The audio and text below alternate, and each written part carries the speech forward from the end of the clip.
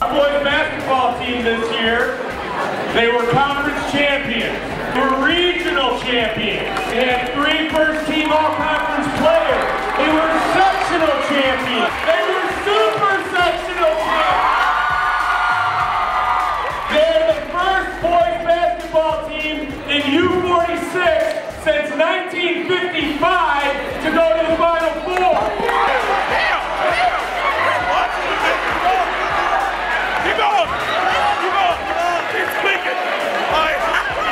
To be successful. Down in Peoria, they they don't know Larkin High School, right? We're gonna let them know.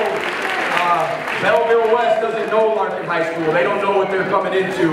Uh, but I, I think they're gonna know who we are.